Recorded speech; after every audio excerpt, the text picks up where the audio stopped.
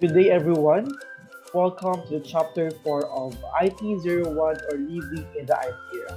So, for the chapter 4, uh, we will discuss the social implications of ICT in the society. So, we have three objectives for this chapter.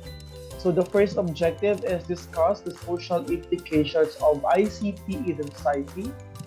Two is identify the negative effects of technology to the society. Three, discover the how ICT is developing social businesses. So let's proceed. All right. So the social impact of ICT, information communications technology ICT has the power to transform society. It plays a key role in each of the United Nations Sustainable Development Goals, providing the infrastructure needed to achieve them. It also enables financial inclusion through e-commerce and allow people to connect with millions instantaneously. So the impact of ICT on business is particularly significant. It empowers people to share knowledge and advice instantaneously and set up an online shop or website at a low cost, dramatically lowering the barriers to start a business.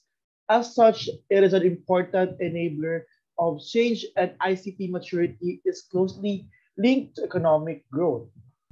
So advances in technology has always been used by for profits to increase revenue.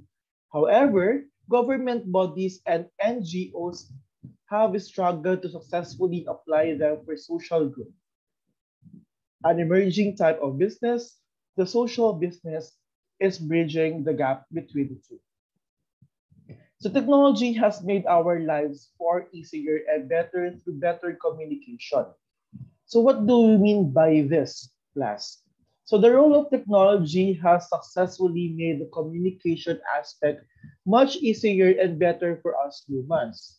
Earlier, we had to wait for the message for days and even in some cases for months. So we will receive and send uh, messages or letters and it will take weeks or time before we can receive or be before we can send those messages.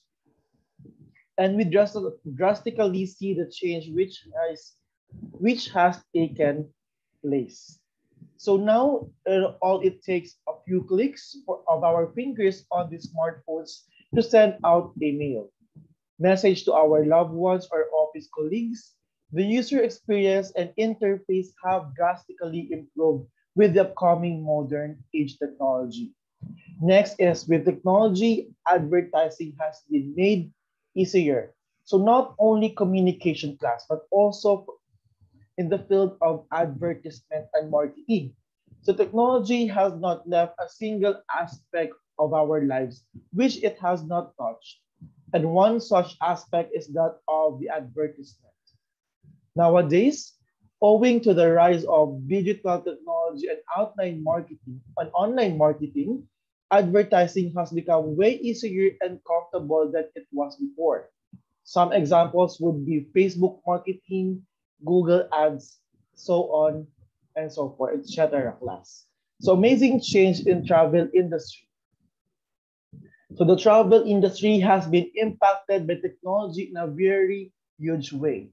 There, there are Google Maps, Google Earth, and so on, which the user can operate and use as per their convenience. And moreover, there have been new and upcoming business models in the travel such um, sector, such as car rentals, where a person can hire a luxury car and a mid-level car according to their needs. Overall, we can say that things are becoming more and more interesting. So next is of course, the help of technology in education. Technology has made learning easier and efficient. So there is no doubt in the fact that with the surge of the, inter the internet over the last couple of years, it has become very easy for people to rummage the internet and get the necessary information. And owing to this, learning and grabbing new information regarding any subject has become way easier, which is good for the gigs. So lastly is the role of technology in data storing. So a couple of decades ago, retrieving data was very rough process to deal with as people had to, um, to score various files and specifically handpick the file by narrowing it down. But now, it is it is not like that all. Nowadays, all you need to do is save it on your computer, tablet, and even smartphones. And whenever you need, you can search for the specific file and within seconds, it will be in your hands. Not just in the same saving, but also has made our lives significantly easy. So in every aspect of our life, technology change everything fast.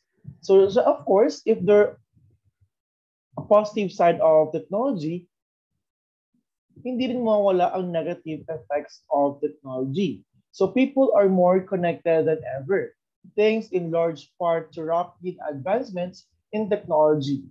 While some forms of technology may have made positive changes in the world, there is evidence for the negative effects of technology and its overuse as well. So social media and mobile devices may lead to um, psychological and physical issues, such as eye strain and um, difficulty focusing on important tasks. They may also contribute to more serious health conditions, such as depression. The overuse of technology may have more significant impact on developing children and teenagers. So first class, let's, um, let's tackle the psychological effects of technology or ICT. So overuse or dependence on technology may have adverse psychological effects, including isolation. So technologies such as social media are designed to bring people together, yet they may have the opposite effect in some cases. A 2017 study in young adults aged 19 to 32 years old found that people with higher social media um, social media use were more than three times as likely to feel socially isolated than those who did not use social media as often. Finding ways to reduce social media use, such as setting time limits for social apps, may help reduce feelings of isolation in some people. Next is the depression and anxiety.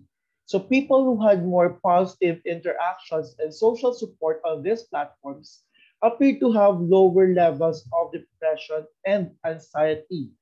So while there does appear to be a link between social media and mental health, a significant determining factor is the types of interactions people feel they are having on these platforms. So after the psychological effects is the physical health effects of technology. So technology use may increase the risk of physical issues as well, including eye strain. So technologies such as handheld tablets, smartphones, and computers can hold a person's attention for a long periods. This may lead to eye strain. So symptoms of digital eye strain can include blurred vision and dry eyes, eye strain may also lead to, um, to pains in other area in other areas of the body, such as the head, neck, or shoulders.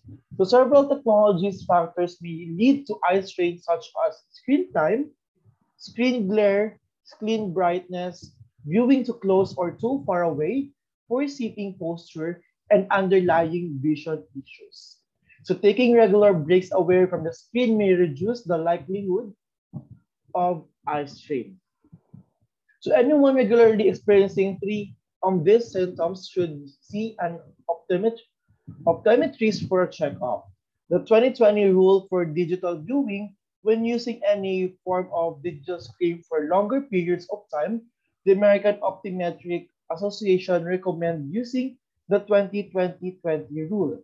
To use this rule, after every 20 minutes of screen time, after 20 seconds break, to look at something at least 20 feet away. Doing this may help reduce the strain on the eyes from staring at the screen for a continuous period. Next is the poor posture. The way many people use mobile devices and computers may also contribute to incorrect posture. Over time, this may lead to musculoskeletal issues.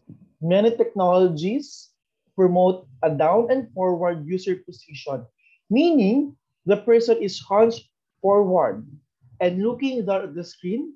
This can put unnecessary amount of pressure on the neck and spine. A five-year study in the Journal of Applied Ergonomics found an association between texting on mobile phones and neck or upper back pain in young adults. The results indicated the effects were mostly short-term, though some people continued to have long-term symptoms. So a 2018 study in the European Spine Journal found that the posture of the neck while texting made no difference in symptoms such as neck pains. Next is the sleep problems. So using technology too close to bedtime may cause issues with sleep. This effect has to do with the fact that blue light, such as the light from cell phones, e-readers, and computers, stimulates the brain. Authors of a 2014 study found that this blue light is enough to disturb the body's natural um, circadian rhythm. This disturbance could make it harder to fall asleep or lead to a person feeling less alert the next day. To avoid the potential impact of blue light on the brain, people can stop using electronic devices that limit blue light in the hour or two before bedtime.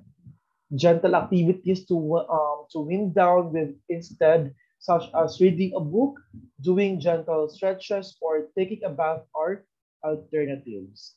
To reduce physical activity as most everyday digital technologies are sedentary.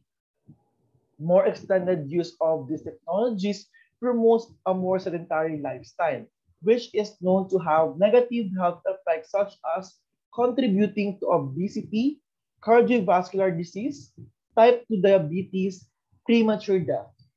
Finding ways to take breaks from sedentary technologies may help promote a more active lifestyle.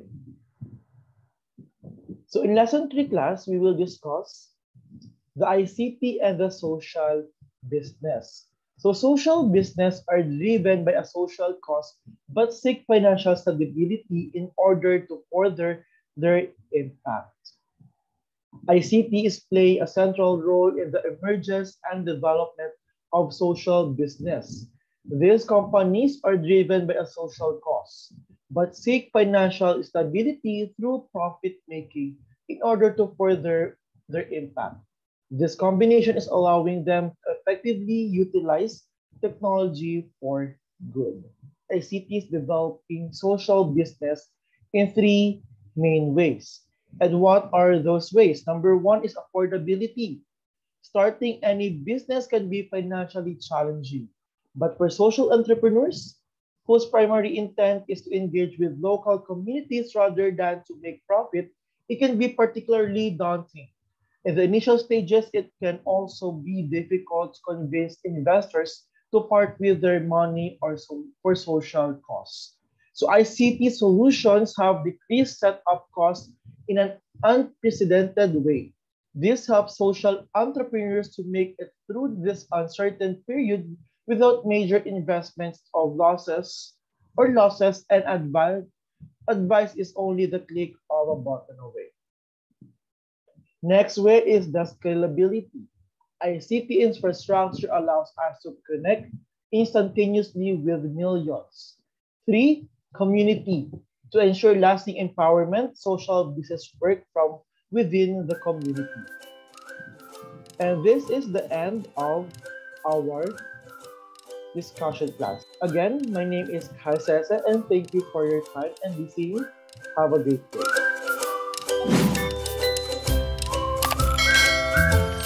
For more ICCT College's video updates, please subscribe and click the notification button.